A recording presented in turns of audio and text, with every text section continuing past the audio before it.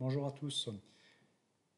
Bienvenue pour ce briefing jury pour la finale régionale euh, Orléans Tour de 2023 pour euh, course en cours. Alors course en cours, qu'est-ce que c'est? Ben, On peut simplement aller euh, sur Internet, taper les mots-clés course en cours, aller sur le site officiel course en cours, voir une petite vidéo de la finale nationale course en cours 2022 éventuellement celle de 2019. Entre 2019 et 2022, nous avons eu effectivement la Covid qui nous a privés de ce présentiel. Sur le site web euh, Course en cours, on rappelle un petit peu ce que c'est que ce, concours et ce challenge. Il s'agit d'imaginer le véhicule futur à travers ce grand titre, c'est être une équipe, ambition et esprit d'équipe, pour pouvoir concevoir et réaliser une voiture une ligne graphique, euh, un stand, et bien entendu faire concourir à un moment donné la voiture pour pouvoir bah, gagner la course.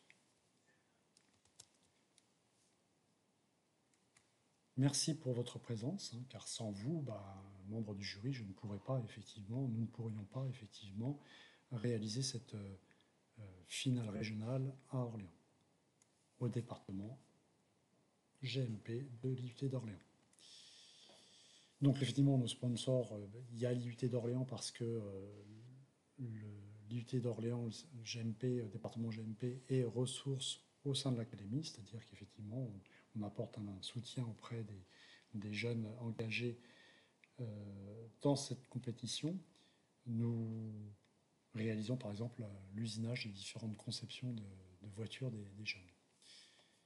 Dassault Systèmes, hein, qui fournit le système euh, numérique, euh, la version euh, logicielle de la 3D Experience pour pouvoir dessiner la voiture.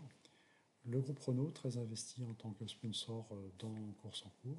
Segula, qui est lui la partie sur la programmation, réalisation, fabrication du moteur électrique. Le sponsoring à travers Elle Bouge, hein, pour pouvoir promouvoir les métiers d'ingénierie, etc. Et pas seulement réservé euh, à la jante masculine, mais c'est aussi ouvert à la jante féminine. L'Académie dans Tour, à travers le ministère de l'Éducation nationale, hein, qui soutient course en cours dans, dans les programmes, euh, et à travers aussi la filière automobile et mobilité de, de PFA. Quelques chiffres, effectivement, c'est la 17e année, cette année d'existence de, de course en cours. Il y avait 40 équipes engagées cette année dans l'académie, seulement 12 équipes présentes aujourd'hui, mardi 23. Euh, elles sont sélectionnées d'office car il y a forfait dans d'autres établissements, avec des problèmes de budget, etc.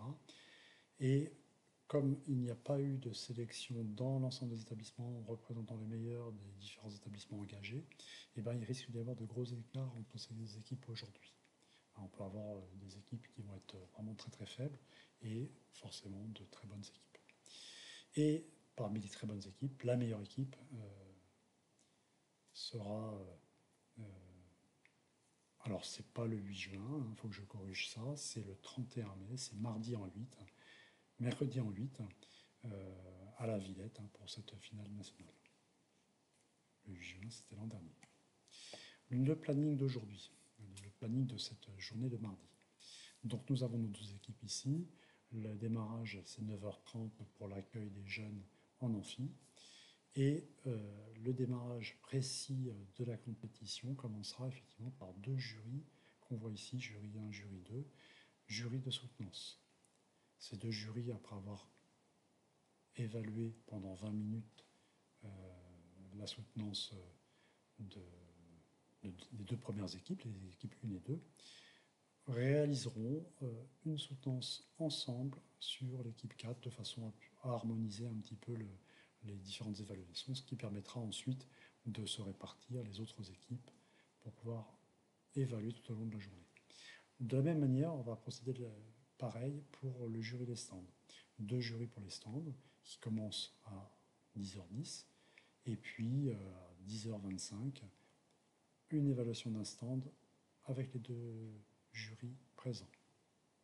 Le contrôle technique ici est fait par euh, Thierry à l'atelier pour vérifier que les voitures sont bien conformes. Les équipes vont s'affronter deux à deux sur la piste, donc ici à 10h40 ou ici à 10h10. Donc une phase de préparation, montage du moteur sur la voiture, sur leur carrosserie, et ensuite la course à proprement parler, avec différentes épreuves. La pause du midi, on se retrouvera tous ensemble en salle B04. Alors dès 11h30, dès voilà, quand vous avez fini, vous pouvez effectivement, euh, par exemple, le jury, et ben là, pour vous, en tant que jury, tout le monde finit à midi, donc il n'y a pas, il n'y a pas de personnes disponibles avant midi d'après le planning. En tout cas, des personnes qui peuvent nous aider à droite et à gauche peuvent, eux, aller se restaurer un petit peu plus tôt pour pouvoir être prêts, euh, par exemple, ici, hein, pour gérer la piste dès le démarrage. La compétition se terminera effectivement par le dernier jury ici de soutenance à 13h50, donc c'est de bonne heure, ce qui permettra effectivement le rangement, etc.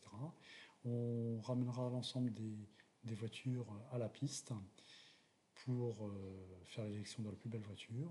Une épreuve de CAO en salle M118 et M114 Ensuite, on retourne euh, sur les quarts de finale et finale du chaos pour avoir la finale du chaos ici. Et ensuite, on se retrouve à nouveau en amphi M02 de façon à effectuer la remise des prix. Donc, vous voyez, à, 15h20, euh, normalement, on devrait être prêt. Donc, un peu plus en détail, la journée du matin. Composition des jurys du matin. Donc on va avoir effectivement Catherine Buret, Jérôme Ponce pour le jury 1. Pour le jury 2, vous êtes trois parce que ça permettra de faire un lien entre le jury du matin et le jury de l'après-midi avec euh, des personnes qui se retrouveront à la fois euh, jury stand et à la fois jury de soutenance. Donc on va avoir euh, Xavier Bernaer, Corinne Chevrier, Jean Banu. Jury stand, Premier jury de stand, Alain Boulard et M. Vrignon. Le deuxième jury, stand 2, Jean-Louis Dubois, Daniel Quenu. À la piste, j'y serai un petit peu au début avec euh, une autre personne, et puis ensuite il y aura euh, trois, trois, lycéens qui devraient gérer la piste tout au long de la journée. On va essayer de les faire, euh, de faire cette gestion-là de façon autonome. Thierry Souchet, donc au contrôle technique je disais tout à l'heure, après avoir évalué chacun une soutenance pour le jury 1 et le jury 2, vous vous retrouvez en commun de façon à pouvoir évaluer l'équipe numéro 4 de 10h10 à 10h30. Ce sont des créneaux de 20 minutes. Il y a 8 minutes de soutenance, quelques questions. Et puis, euh, voilà, sur les 20 minutes, ça permet d'avoir une petite marge de mise en place pour pouvoir brancher la clé USB, sur le vidéoprojecteur, etc. Même chose pour le jury stand. Alors par contre, le jury stand, c'est un jury itinérant, c'est-à-dire que vous allez vous déplacer sur les différents stands. Là, par exemple, pour le jury stand 1, vous irez euh, voir euh, l'équipe McQueen du lycée Thérèse Plagnol. L'après-midi, on retrouve trois personnes sur jury-stand 1 et jury-stand et, pardon, euh, stand 1 et jury 1 de soutenance. Effectivement, l'après-midi, on a vu tout à l'heure que ici, stand 1 était suivi de jury 1. C'est-à-dire que là, ce sont les mêmes personnes qui vont euh, passer de là à là. Et on a vu que vous étiez euh, 3 sur le jury 2 ici, et on va vous retrouver en partie ici et en partie sur les jury stands de façon à pouvoir faire du mixage, de façon à ce que pour vous aussi vous puissiez euh, bah, profiter un petit peu euh, des différents stands et des différentes soutenances. L'après-midi, on revoit un petit peu euh, une mise en commun puisque ce ne sont pas les mêmes jurys que le matin. Vous allez avoir une pochette. Dans votre pochette, il va y avoir le planning hein, qu'on a vu euh, précédemment. Vous allez avoir euh, vos documents euh, d'évaluation, un document d'évaluation à remplir par, équipe. et un extrait du règlement. On va voir un petit peu ces différents documents dans un deuxième diaporama. Il y a cinq critères de, de 0 à 20. En fait, vous notez tout le temps de 0 à 20. Il faudra ne pas hésiter, on va revoir ça un petit peu sur les fiches d'évaluation, il ne faut pas hésiter à, utiliser euh, l'échelle euh, graduée de 0 à 20. Deux critères de conformité, hein, conformité des voitures, conformité du stand, conformité euh, du respect du règlement au sens général. Pour le stand, pareil, hein, quelques critères de conformité. En info diverses, donc on va avoir euh, normalement en salle M100 du café et euh, des boissons. Alors là j'ai mis en salle des profs, je ne sais pas encore si c'est en salle des profs ou en salle euh, M100 où on fera notre réunion de briefing. Le repas du midi se trouve en B02, alors je ne sais pas si c'est B02 ou B04, elles doivent toutes les deux exister, mais certainement B02, hein, c'est celle qui est tout au bout du couloir, près de la piste. Donc tous ensemble, voilà, dès 11h45 euh, ou dès, 11h30. Euh, euh. En tout cas, on sera tous disponibles normalement, si on respecte bien le planning, dès midi. L'élection de la plus belle voiture, donc de 14h15 à 14h30. Il faudra vérifier si ces horaires-là sont bien conformes à notre planning ici. 14h15, 14h15, jusqu'à 14h45. 14h30. Ok. 14h15, 14h30. Donc vous, en tant que jury, effectivement, vous allez avoir un bulletin de vote pour pouvoir évaluer la voiture. S'il y a du retard, euh, bah, vous essayez de prévenir les équipes euh, concernées, aller les chercher, envoyer du monde euh, pour les chercher, éventuellement me contacter, m'en informer, de façon à ce que je puisse courir un petit peu partout pour, essayer d'apporter un, soutien, un support. L'ensemble des documents seront à déposer euh, auprès de Stan, euh, très probablement dans son bureau de chef de département à côté du bureau de. La remise est prise 15h20 en amphi M02. Pour vous remercier, vous allez avoir une jolie clé USB. Voilà. Euh, avec un nouveau design, avec la, mise à jour des différents logos partenaires. On regarde maintenant le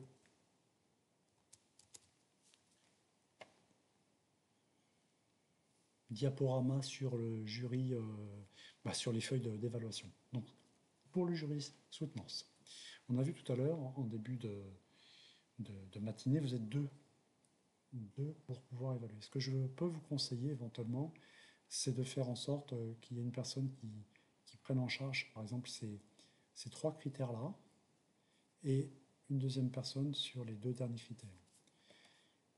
Concernant l'innovation mécanique, c'est assez difficile de faire l'innovation mécanique en collège. C'est peut-être un petit peu plus facile au lycée, mais ils ont beaucoup moins d'heures. Donc finalement, c'est aussi difficile au lycée.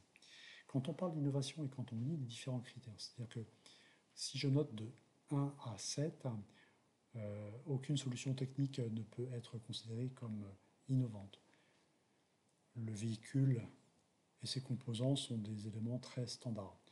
Alors, oui, mais il euh, ne faut pas non plus être trop, trop sévère, comme je le disais.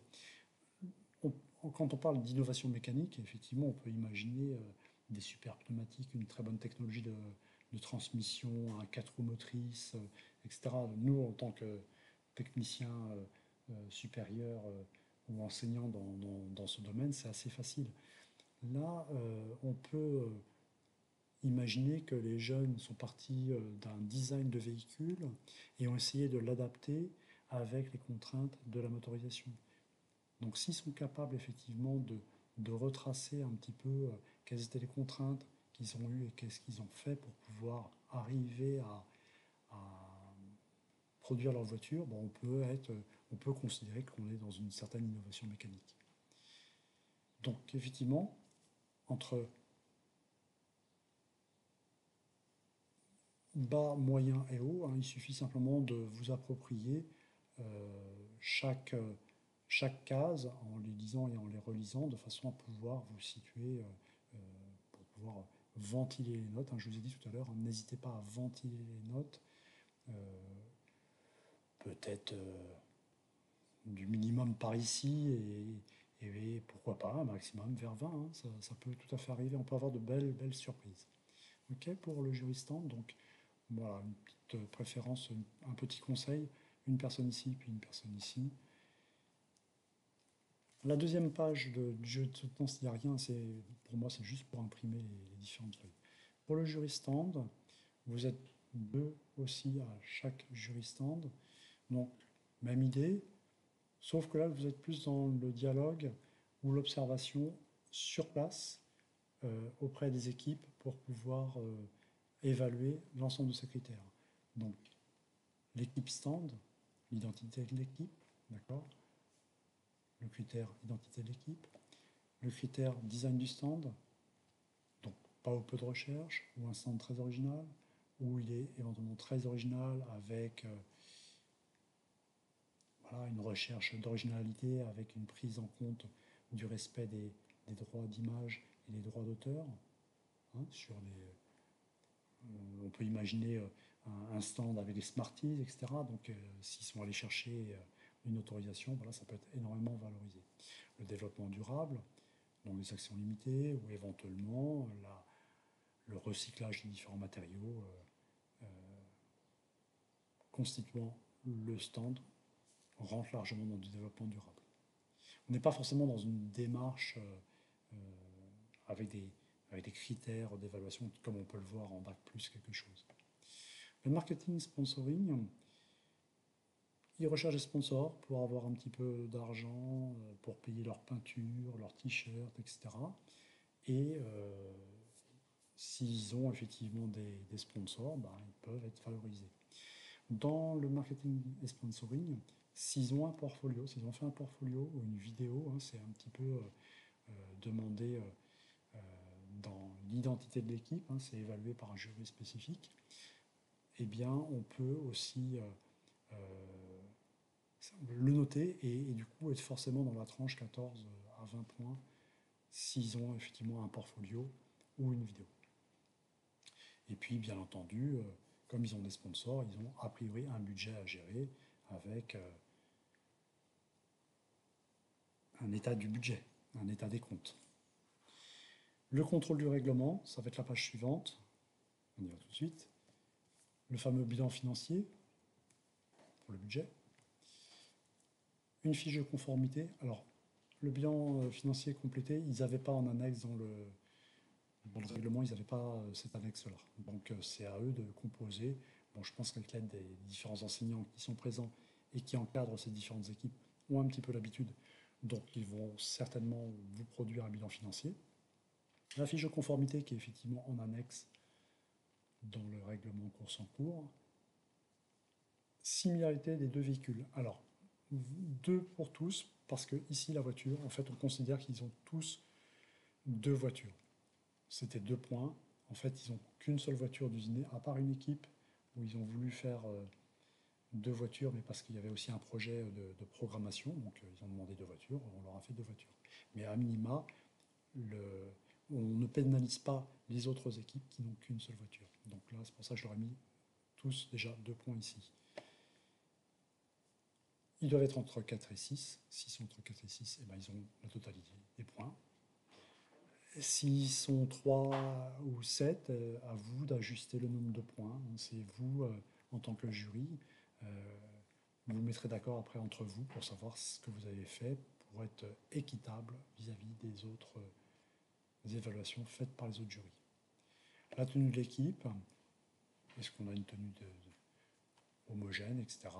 Est-ce qu'il y a le logo course en cours? Est-ce qu'il y a les logos des partenaires officiels? Donc les partenaires officiels, on les rappelle, on a vu, c'était Renault, on a vu Dassault Systèmes, l'Académie euh, d'Orléans-Tours. Alors pour les collégiens, c'est plutôt le département, et puis pour les lycéens, c'est la région. Le nom ou logo de l'équipe sur le stand, et il faut que le stand soit aux bonnes dimensions. Donc voilà, ça, ça nous donne déjà une note sur 20 qui suffira de reporter ici. Donc on a six critères. Vous êtes deux, peut-être qu'il faudrait vous séparer euh, et vous répartir euh, trois critères et trois critères euh, pour chacun d'entre vous. Voilà la, fiche contrôle technique de, la voiture. Je vous la présente très rapidement. La voiture fait 350 mm maximum, une garde au sol de 1 mm minimum, la largeur totale du véhicule 12 cm maxi, 600 g minimum en termes de poids, 180 mm de hauteur maxi, avec des roues motrices de 55 mm mini, 65 mm maxi, 3 roues minimum, etc. En fait, le véhicule doit euh, respecter l'ensemble de ces critères et utiliser la motorisation officielle, la batterie officielle, de façon à ce qu'ils aient tous les mêmes chances de remporter la course au final. Le jury spécifique, avec justement l'application numérique, fonctionnement, maîtrise de la programmation, effectivement, ils peuvent mettre une petite carte Arduino sur le moteur pour pouvoir dialoguer avec euh, la voiture.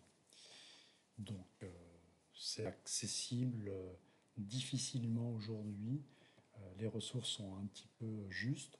Donc voilà, jury spécifique, c'est une seule et même personne qui va, très certainement Stan, qui va s'occuper de, de, ce,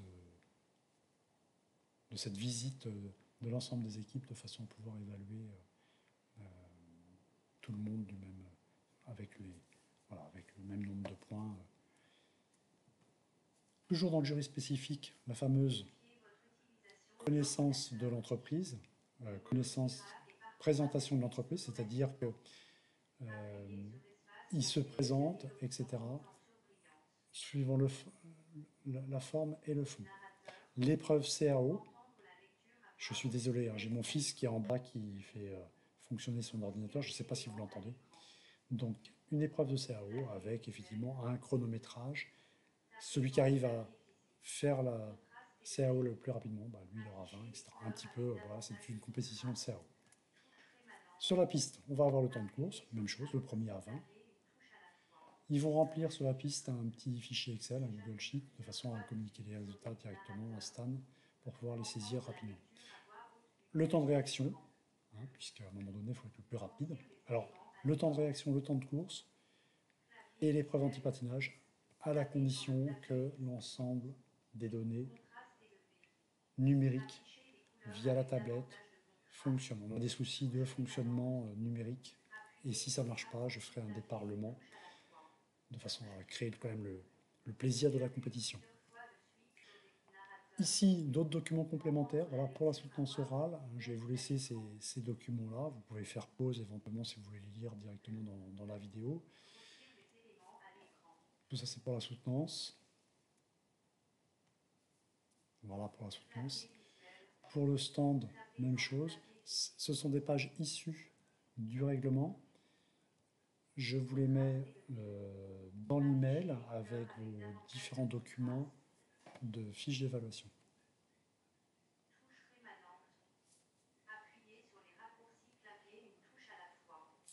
L'épreuve anti-patinage, alors on parle normalement d'énergie. Euh, en tout cas, l'idée, c'est de limiter le patinage. C'est-à-dire que sur une certaine distance, hein, c'est moi qui vais mettre en place cette, cette consigne, il va y avoir par exemple 5 mètres à parcourir en un temps minimum avec un temps maximum à ne pas dépasser.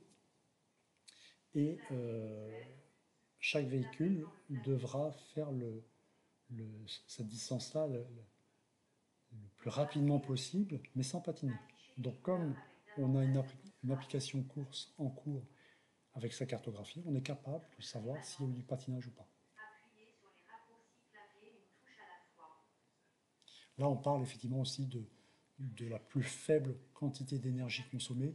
Ce paramètre-là, je ne l'utiliserai pas dans la finale course en cours régionale.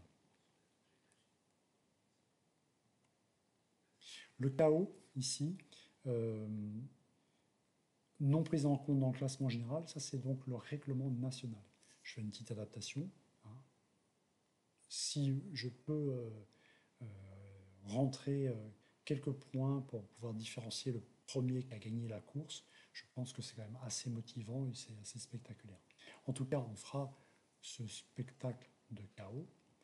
Si j'ai du chrono, ça permettra effectivement de différencier les, personnes et faire vraiment un chaos.